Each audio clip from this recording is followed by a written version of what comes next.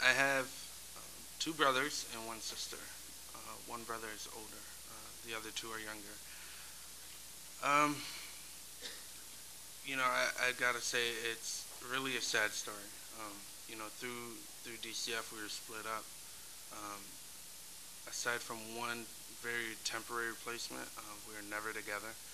Um, and you know, that's just the way I grew up.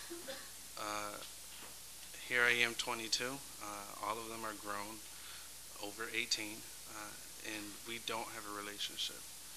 Um, I know that, you know, they can call me up anytime, and you know, if they need something, I will drop everything and, and be there for them. Uh, but if not, then we really don't talk too much. I've Been in the system since I was eight, and all three of my siblings went in at the same time. Uh, my mother had another child, and that's my youngest brother, and I haven't seen him at all. And the excuse I was given was um, because of the situation between the three of us and his specific case, I'm not allowed to see him. I was granted one visit to be able to see him, and um, that was when he was three.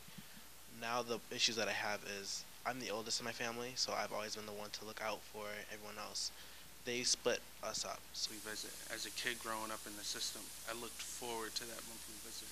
It was great. It was phenomenal to know. All right, this is the day I'm going to see my brothers. and I'm going to see my sister.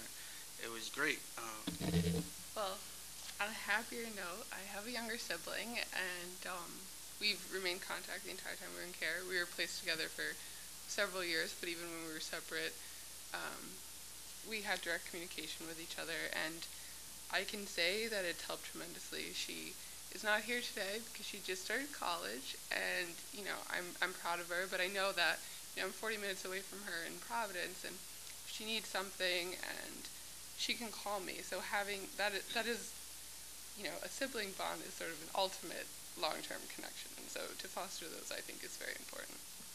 If you're put into care, you definitely need to have somebody by your side. And I tell you, my little brother's 10, and I could not imagine what it would be like to not being able to see him at all, especially with the circumstances that me and him have grown up in. He's been, he looks up to me, and I really would not see